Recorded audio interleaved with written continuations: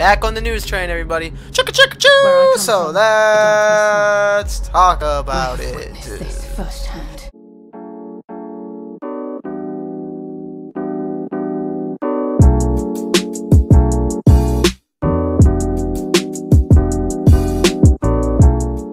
So interesting enough, Destiny is deleting two years of content. Think about this. This is content that, yes, it's old. Yes, Destiny went free to play. This is content that all the freebies got to play. But this is also content that people paid for at one point, including myself. I had to take a sip of my drink. Let that sink in, guys. Let that sink in. Deleting content that people paid for at one point. And now Destiny 2 is becoming smaller because they're getting rid of a lot of content. They're getting ready of full zones. I'm talking about full zones here. Full zones.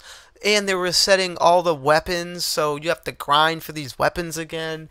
This is interesting. I quit Destiny 2 a long time ago because I just got sick of the business model and the practices. And now this makes me glad that I did because I don't know. I don't like when games get smaller. I don't know their reasoning for it. I understand that it's old content, but it's still content, and it's game stuff that you could have still done and played at one point. And now they're resetting their weapons and they're doing all these crazy monstrosities. Like I'm looking at the list and stuff, and it's like, man, what is going on with Destiny? Now, like I said, I'm not too involved in the community anymore and all about the game like I used to be. So if you want to enlighten me, let me know in the comments below. But I just felt like giving my two cents, saying that I don't know what uh what what seems to be the case here.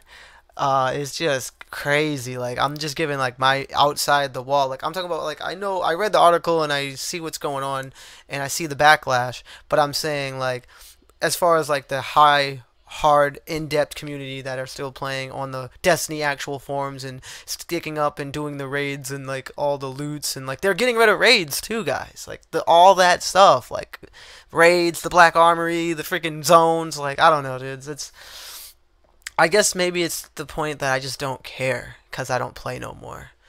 But it sucks that if you guys play and you guys do care cuz this is content that's being delim- deleted. RIP Destiny 2 is dead but I don't know.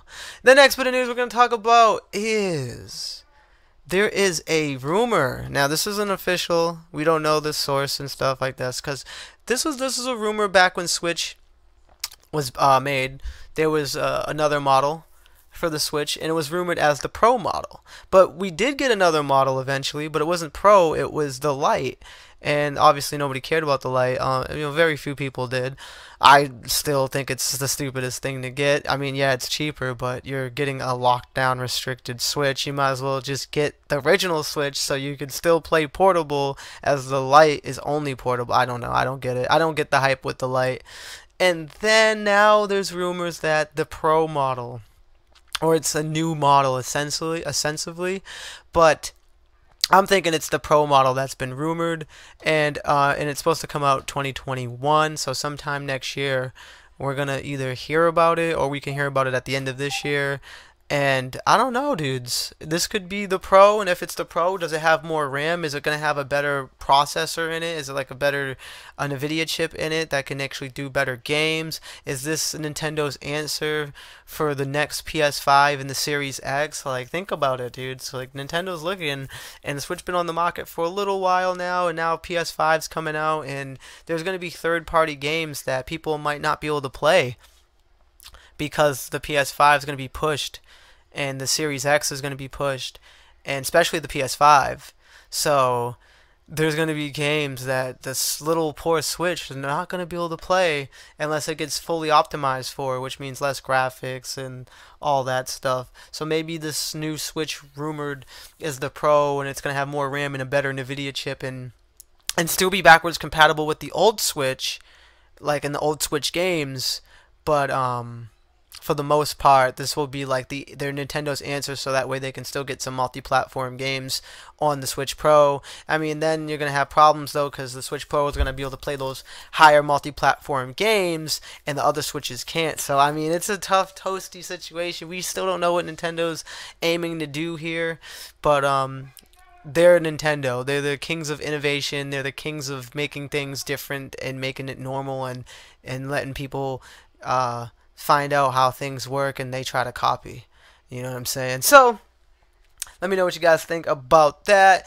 And the next one we're going to talk about is just two quick announcements that came through. I'm, i know I might be late on it, but I didn't want to just make a video just based on those two announcements. I wanted to wait until a couple more news came out, and I did. Then we got the rumor of the Switch Pro, and now we got Destiny stuff being deleted. So I, I had more of a filler because I like to give you guys full videos full of all different big news coming out. I don't want to just do a video about one thing and then it's like two minutes long. That's just stupid in my opinion. So here's all the news. But the last, well, the last two things we're gonna talk about is Gotham Knights is coming out, uh, 2021. And it seems like Batman is dead, RIP, but I don't know if Batman's dead now. The interesting thing about this is this takes place in the Ark Arkham Knight arc. Uh, that's too many arcs in my sentence, but it takes place in the the the Arkham Knight arc, and this is interesting because since it takes place there, is Batman actually dead? Because if you played the game by Rocksteady, there's a secret where like he looks like he supposedly he blows himself up, but we don't know if he really blew himself up. And and they start this intro off with if you really if you if you're re, uh, watching this, I'm dead, but we don't really know if he's dead. He could just be on vacation. I mean, this is Batman here, dudes, and um, he could be making a surprise entry in the uh, game, but we don't know. But that's Gotham Knights. You're gonna play as Batwoman, Robin, all the the Gotham Knights. They're getting together to fight crime and it's Nightwing, and it's just really interesting. Um, it's made by Rocksteady. I don't think I don't know if it's gonna be an issue. Um, I mean, these guys know what they're doing when it comes to games, and um, I'm kind of excited. The graphics look amazing, and it looks like um, it just it just looks different and uh, we know it's not going to be the com the combat of the the the Batman game. Sadly, it's going to be a little different. Uh, and but we don't we don't really know much about it. Honestly, I keep saying oh because I'm trying to like.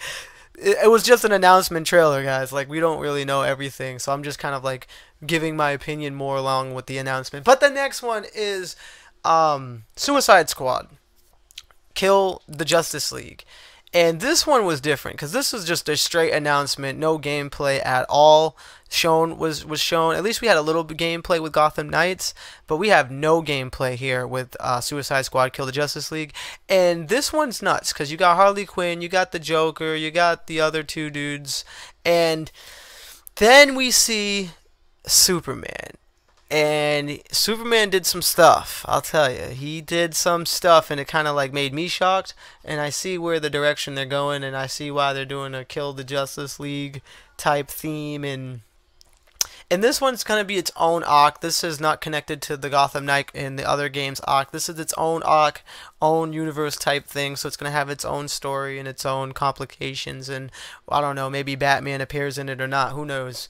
But we do know Superman is evil, and that is insane. But that don't, I don't think this one's coming out till 2022. I think the trailer said. So it's like, man, I don't even give a shit until until next year when we see more footage, and then even next year we're not gonna get it. So it's like ah, whatever. Anyway, guys, that is the all the news that we're gonna talk about in this video. Thank you for listening. Thank you for watching. Thank you for your support. Make sure you stay up to date with all the latest in gaming tech news and reviews. Smash that like, and as always, subscribe. God bless and peace. Damn.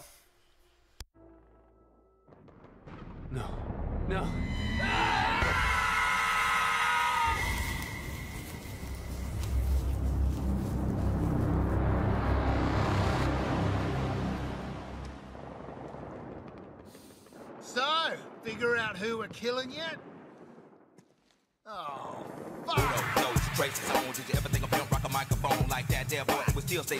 Big things happen every time we meet, like a team, team. I shouldn't have done that, Shock.